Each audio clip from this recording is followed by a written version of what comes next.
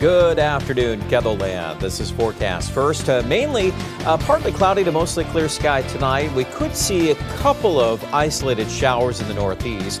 Temperature at uh, 62 in Sioux Falls, 55 Aberdeen, and mid 50s around here. Now, we've got wind to discuss for tomorrow. In fact, we could see some wind gusts of 30 to 40 miles per hour in the morning and that's going to set into motion a cool down. We may still yet get a shower or thunder shower chance in the southeast. We'll talk more about that and your weekend forecast next on First at 4.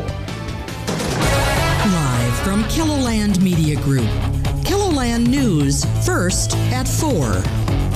Coming up, when you should get the new COVID vaccine. Plus, what you can do to get some relief from allergies. And a sheriff in Kentucky is accused of killing a judge. We'll tell you what we know so far. Well, good afternoon, and thanks for tuning in to First at Four. I'm Tom Hanson. And I'm Kelly Volk. Sioux Falls police are investigating a kidnapping, attempted rape, and assault. Police say a woman was walking in a neighborhood southeast of 12th Street and Kiwanis Avenue late Wednesday night. A prosecutor says a car pulled up. Another woman got out of the car and hit the victim in the head, knocking her unconscious. When she woke up, the victim was in an apartment. The prosecutor says she was tied up and blindfolded and was knocked unconscious again. She was later brought to rural Minnehaha County, where the prosecutor says she was bound with a phone cord and tied to a pole.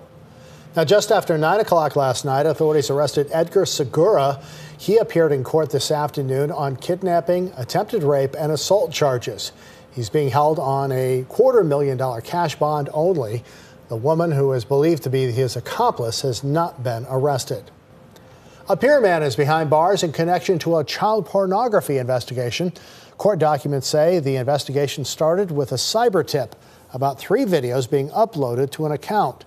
Authorities searched a home on Tuesday and found devices with what appeared to be child pornography on them.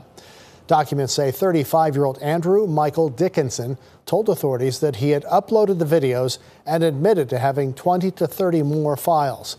Dickinson is facing three counts of possession of child pornography. The Minnehaha County Sheriff's Office is asking for your help in finding a wanted man. 20 year old Samson Nagasi is wanted for second degree robbery. Court documents say he's also charged with grand theft and simple assault. Documents say Nagasi allegedly took items from Kohl's and threatened someone at the store in March of this year. If you have any information, you are asked to call the sheriff's office stoppers.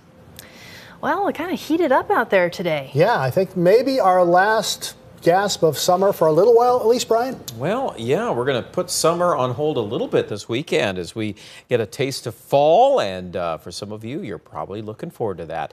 Here's a look at your weather this afternoon. We'll begin with our live camera network, Rapid City. A lot of blue skies. Of course, it's been a warm day and also a drying day once again. Fire weather concerns remain for southwest South Dakota. Live view at Huron, we're up to 86 degrees this hour with a south wind at 10 to 20.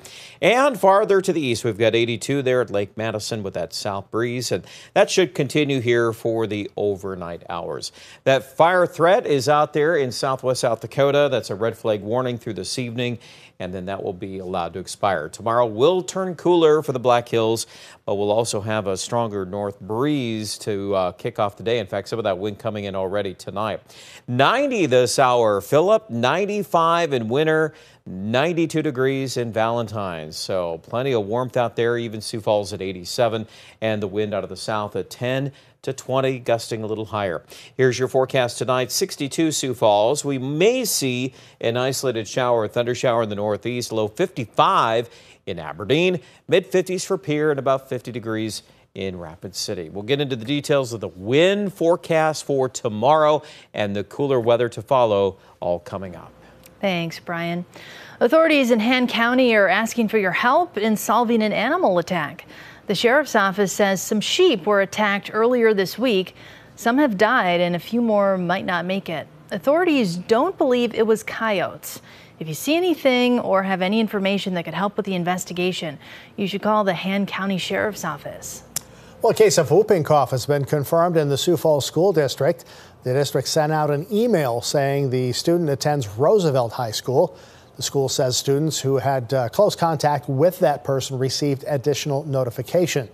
Last weekend, cases of whooping cough in the Portland State football team caused the cancellation of a game with the University of South Dakota.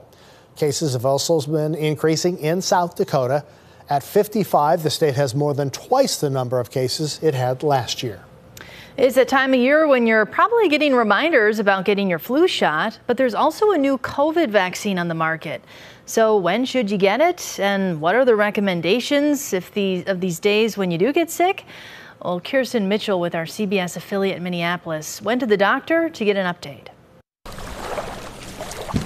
As the days get shorter and leaves start to turn, another season begins. Well, I mean, we're at college, so yeah. everyone gets sick at college. It's just a new atmosphere. Cold and flu. I just got over a cold that went around my school, so. How are you feeling about COVID? As someone who works in healthcare, I have gotten COVID four times, so I can say that, you know, it's still very real. I think it's still definitely alive and present, unfortunately. But just like the seasons, Hennepin Healthcare internal medicine physician Dr. David Hilden says the virus is changing too. It's still gets people sick. Some people still die, but it is true that it is a much different illness than what we were all used to back three, four years ago. Just in time for fall, a new vaccine is out, offering protection against the latest variant. Anyone six months and older can get the shot. Usually get it around like when I get my cold flu shot as well. If you recently had COVID, the CDC says wait three months before getting the new vaccine. Over the summer, I'm pretty sure I had it. Yeah. How was it for you?